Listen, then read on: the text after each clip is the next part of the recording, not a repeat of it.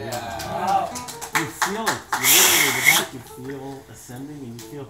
Also, when it comes down, it's very. It's almost like you have to put the brakes on in. You feel like it's like stopping in middle, so you don't you don't fall down and like crash. It's like a. Do you know the a whole- uh, Breslov Lechadodi?